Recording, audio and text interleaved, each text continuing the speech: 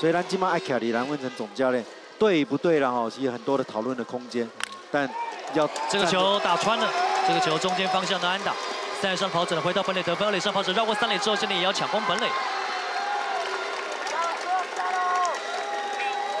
梁家荣这支中间方向的安打，当然刚刚因为是二三垒有跑者哦，所以呃墨西哥的内野手背呢也趋前。对。